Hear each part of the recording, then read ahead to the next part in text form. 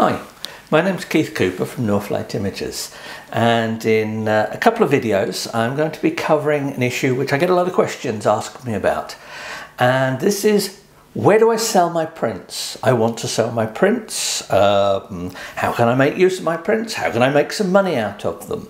You get the general theme.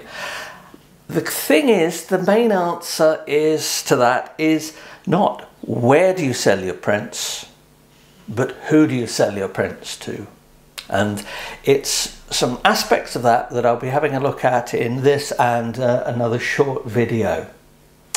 As I said, it's who buys your prints that count. Just because some friend of yours has gone, oh, that's a great print, you ought to sell them. Do they know people who buy prints? You probably don't know yourself even. When did you last buy a print of the sort you're trying to sell? That suggests you actually probably haven't a clue who actually buys them. Sure enough, uh, you can give prints away. Um, you know, I've run out of relatives and friends with wall space to take prints because of all the prints I produce through my printer testing and everything. But when it comes down to it, it's about marketing. Simple example. Here's a picture. Now this is the, some beach huts on the beach on the Suffolk coast at uh, Southwold. Now there we go, nice pretty looking picture. It's a bit twee for my liking. Um, it's bright colours. It's a sort of picture people will put up in their bathroom, people will put up in their kitchen, whatever. Now this is the same place I grew up on the Suffolk coast. And to me, this is a much more accurate recollection of what it's like. Uh, this one, with the tiny little bit of blue sky and the tiny bit of colour in the picture, um, which is, it will brighten up, honestly, much more matches up to my recollections of holidaying on the Suffolk coast. However, when it comes down to selling prints, cheerful is much more likely to beat dismal. Now, what does this mean in terms of actually selling prints? It means that you have to think about who's buying your prints and that cheerful sells. And what it means is that just because you like a picture best, better than another, I much prefer this, this dismal looking one, um, that other people may not. Now, I've tried this when I printed this a few years ago and had some copies and was uh, giving them away. People who knew the Suffolk coast went, yeah, that's, that's got it, that's right. Whereas people who just wanted a decorative print, like that one. Now, notice I said just want a decorative print. That's in some ways putting down the quality of these prints. And that's a wrong thing to do because when it comes down to it, the people who buy your prints are right. Old adage, the customer's are always right. Another thing is they have to be local, local sells. So this is the pier at Cromer on the North Norfolk coast on a nice day. Um, People like pictures like this. This is a picture that would sell much better in Cromer than somewhere on, say, Cornwall coast.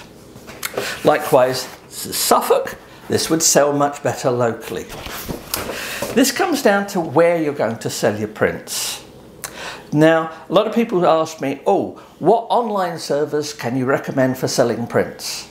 And my honest answer is none of them because the people who make prints make money from selling prints online are the people who run the stores that sell the prints.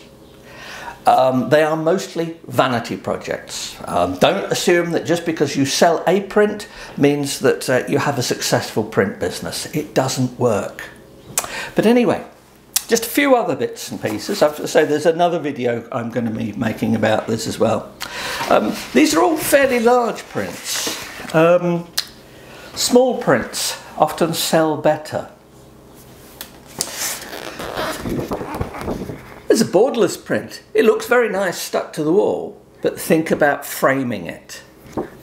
Um, you're going to lose some when you frame it, unless you mount it directly. Similarly, if you have a liking for panoramic prints, this is this and the boat here in Amble, the Northumberland coast, how are you going to mount these? And then when we get to panoramic prints, like this one, just north of San Francisco on the coast, yeah, it looks great. I really like it, but I was there. Um, there's very little market here in the UK for interesting looking images of the US. Now, let's say I get some people in the US want to buy this print. That's great. Um, it's going to cost a fortune to ship it, particularly if I do larger versions. But anyway, that comes down to the fulfillment side of things, which is something I'll look at in, a, in another video, the, so the economics of it. But basically, if I had to say one key thing for people who want to sell their prints is understand your potential customer. What do they want? Sometimes that may not match with what your favourite print is. Mm, tough, get over it. Um, are you in a business or are you an artist who values the purity of their work? If so, expect maybe not to sell so many prints. But anyway, that's a very quick look at some aspects of uh, print sales. Hope it's of interest, um, and I will do a few more of these videos if, uh, if people like them. So uh, thank you very much.